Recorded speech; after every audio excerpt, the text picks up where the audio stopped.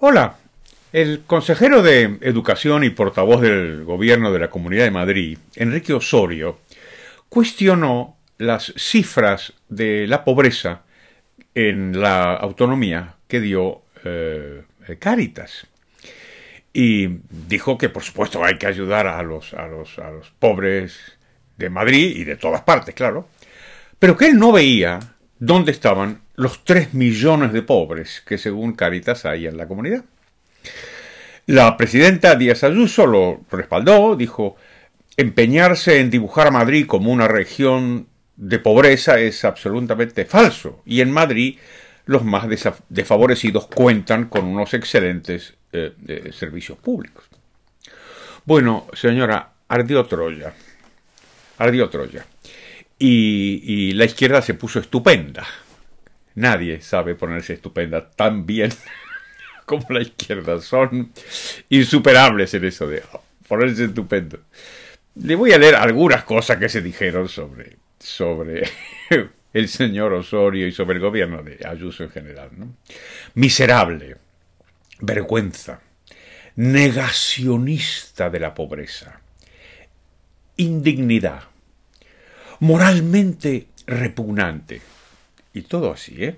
Esta fue la, línea. Incluso, incluso hablaron en contra del mercado libre, como si el, el socialismo sin mercado, el comunismo hubiera eliminado la pobreza.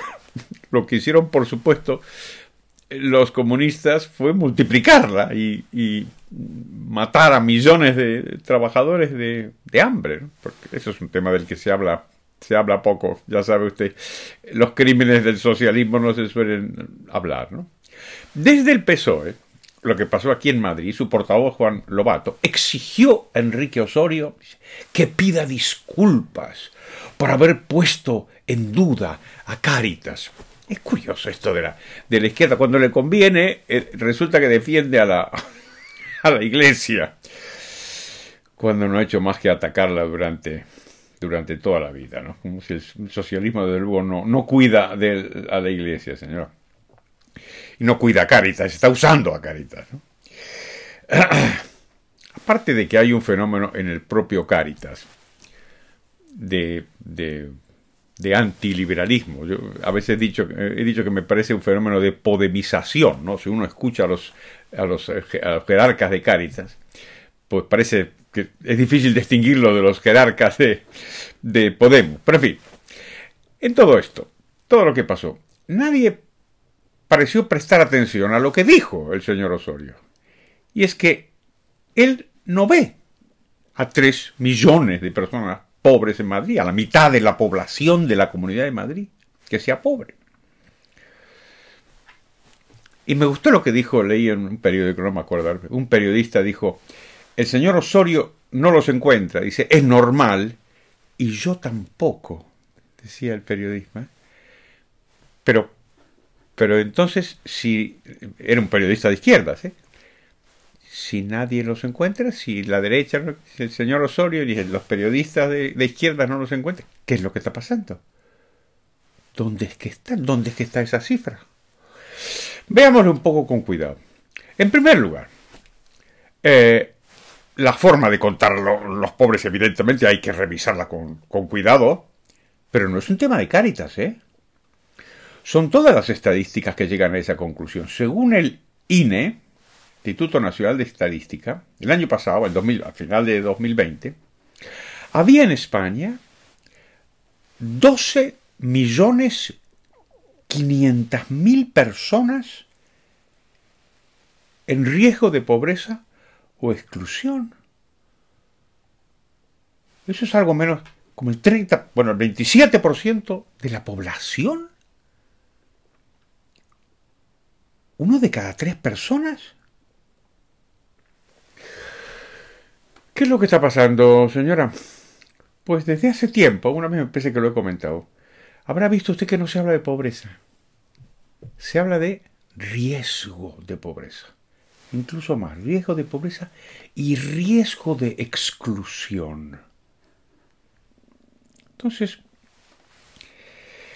¿qué, quiere decir todo esto? Porque evidentemente algo está pasando para dar como resultado estas cifras tan, tan extraordinarias, ¿no? tan, tan, tan enormes.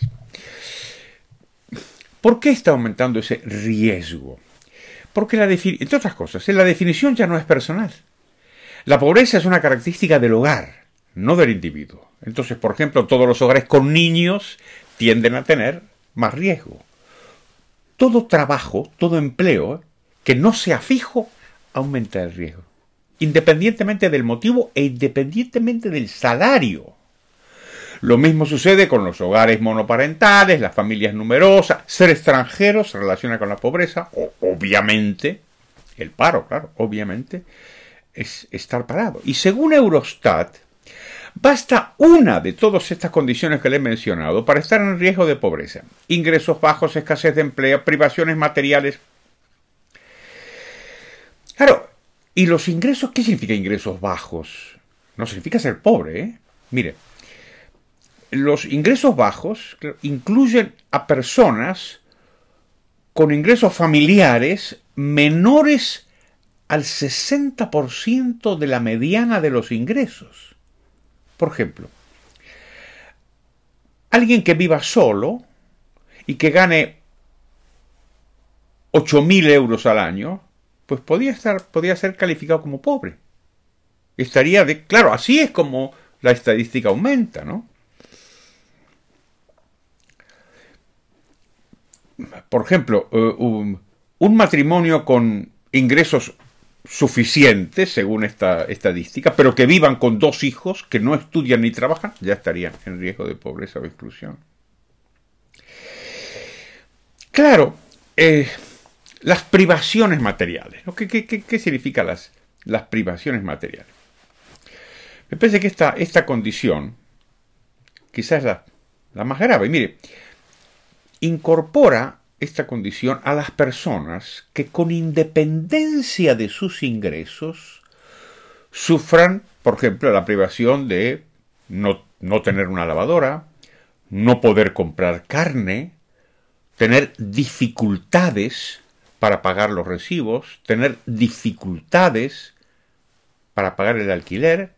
Es muy difusa esta categoría. ¿Por qué? Porque no atiende a los ingresos con lo que una, digamos, una persona o una familia con, con ingresos suficientes, pero que tenga dificultades, como las que he mencionado, para pagar el alquiler o para eh, comprar algunos eh, bienes o servicios, que si tiene dificultades, ya entraría en esta categoría.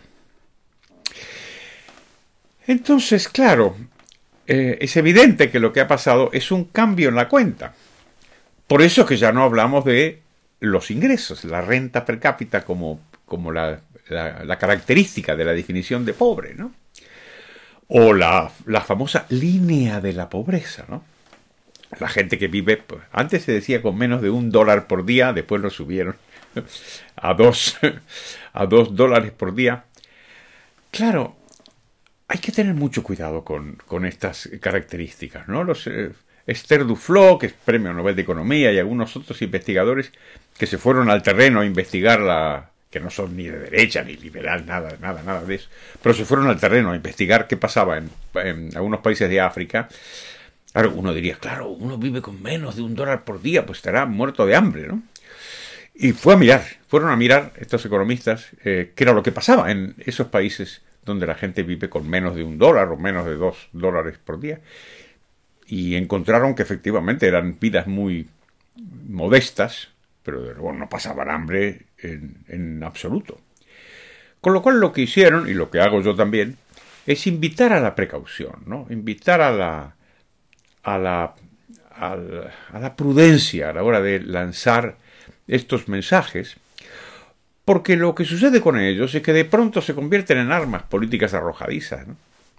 Y si alguien dice, pues yo no veo a tres millones de pobres en Madrid, a la mitad de la comunidad, no es porque no haya personas necesitadas, que por supuesto las hay, sino que están inflando los números con objetivos políticos. Y entonces se empieza a entablar una especie de batalla en donde no se habla de los problemas reales. Eso sí, todos los progresistas muy, muy, muy, muy ofendidos, muy agraviados. ¡Ah! ¡Qué repugnancia moral! En lugar de mirar un poco la realidad y un poco los problemas reales. En fin, muchas gracias. Le pido que se suscriba, eh, como siempre, que le dé a las campanitas de las notificaciones y al me gusta, si le ha gustado. Hasta pronto.